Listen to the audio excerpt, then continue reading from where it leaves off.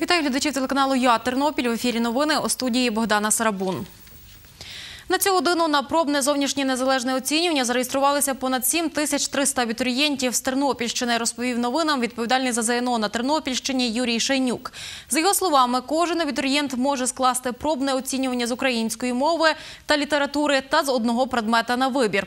Сьогодні до опівночі випускники навчальних закладів області ще можуть подати заявки на участь у пробному ЗНО 2020. Пробне ЗНО проводиться вже з 2008 року. Його мета ознайомити учасників із процедурами проведення тестування, із змістом тестових завдань, із ем, е, навичками вправлятися з тестовим зошитом, переносити правильні відповіді у бланк, ну і в якійсь мірі зняти е, психологічний там, стрес, напругу для того, щоб вже більш впевненим бути під час основної сесії тестування. Більше того, зараз е, вже впродовж кількох років є функція отримання результату пробного ЗНО. Вона, звичайно, не буде 100%, вона буде наближена, але ця е, функція дає можливість дітям і краще е, підготуватися до ЗНО, побачити, де вони е, чогось не допрацювали. За словами начальниці обласного управління освіти і науки Олі Хоми, в області 4905 учнів 11 класів. Нагадаю, реєстрація на пробне ЗНО стартувала 3 січня та завершиться сьогодні. У 2020 році для тернопільських абітурієнтів вартість одного пробного тесту – 142 гривні, розповів Юрій Шейнюк.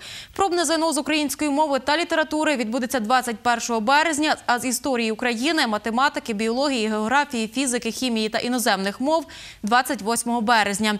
На Тернопільщині в 2019 році на пробне тестування зареєструвалися близько 9 тисяч абітурієнтів, каже Юрій Шейнюк.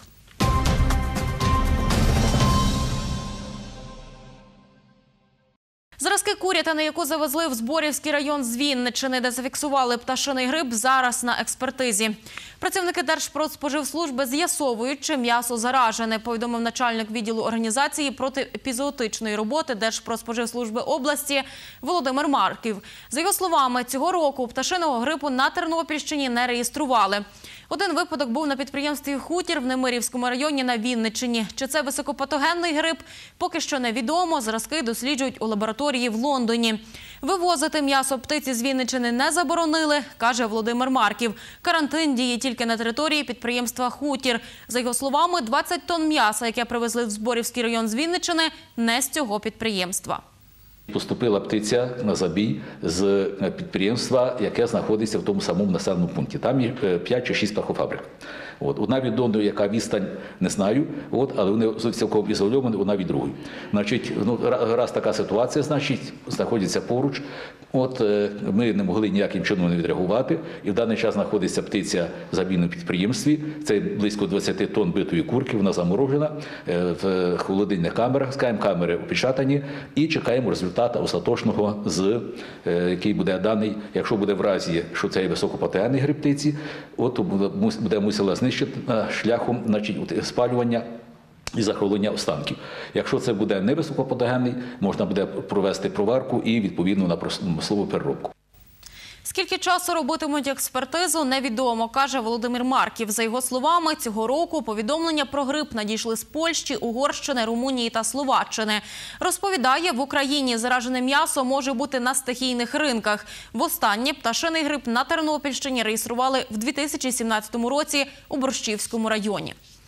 Сьогодні в Тернополі на вулиці Лесі Українки поблизу зупинки 15-та школа продовжили демонтаж тимчасової споруди кіоску. Роботу розпочали о 10-й годині. За словами начальника управління муніципальної інспекції Тернопільської міськради Ігоря Максимєва, власника споруди не встановили.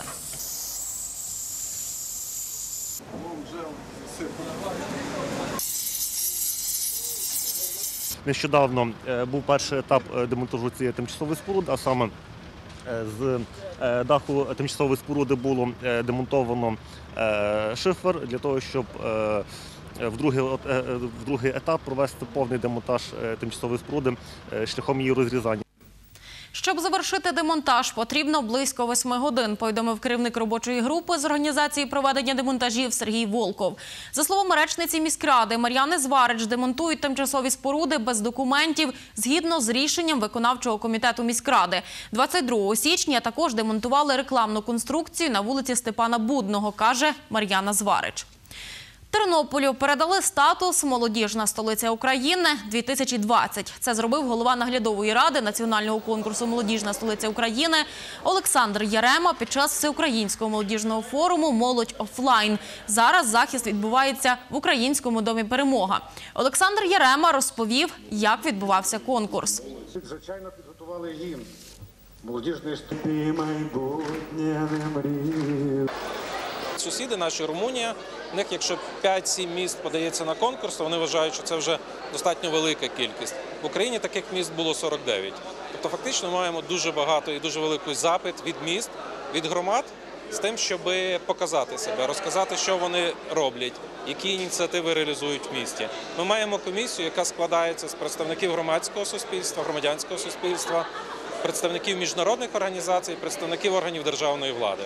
Комісія зроблена таким чином, що власне з різних секторів, з різних сегментів подивитися на ті заявки, на ті ідеї, які міста дають на конкурс. І тут дуже важливий аспект. Конкурс це не тільки про те, що зроблено, але і про те, що буде зроблено. Тобто місто каже, в нашому місті зроблено такі-то ініціативи і реалізуються такі ініціативи, але ми також хочемо зробити таке-то. І власне комплексна оцінка, і в фіналі з 10 міст виграв Тернопіль. Співорганізаторка заходу, начальниця управління сім'ї, молодіжної політики та захисту дітей Тернопільської міськради Христина Білінська. Вона розповіла, які заходи планують провести в Тернополі у цьому році.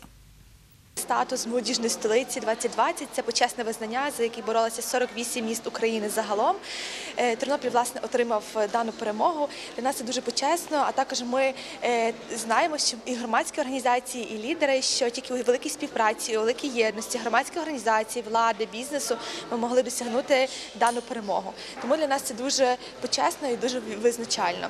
Загалом е, цілий рік ми плануємо великі заходи. Це буде 250 в- рі- рі- різноманітних заходів, це і культурних заходів для молоді, спортивних заходів, в тому числі молодіжних заходів, які стосуються певних набуття певних навиків компетентностей.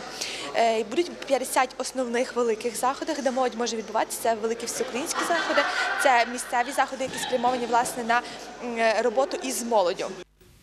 Конкурс «Молодіжна столиця України» проводять третій рік поспіль. Перше місто, яке отримало цей статус – Львів. Після нього Кам'янець-Подільський, розповів Олександр Єрема. Тернопіль – третє місто, яке отримало цей статус. Це вся інформація на цю годину. Наступний випуск новин дивіться вже о 17-й годині.